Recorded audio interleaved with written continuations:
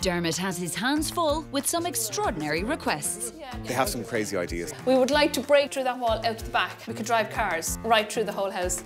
Bunkers. So this is what I kind of came up with. It's different than what we thought. And this client likes to do things his way. I wasn't expecting you to be this progressed. Uh, you just have to learn to keep up with us. You like that? No. It's either pure genius or it's pure muck. I can't. Room to improve. Sunday at 9:30 on RTE1.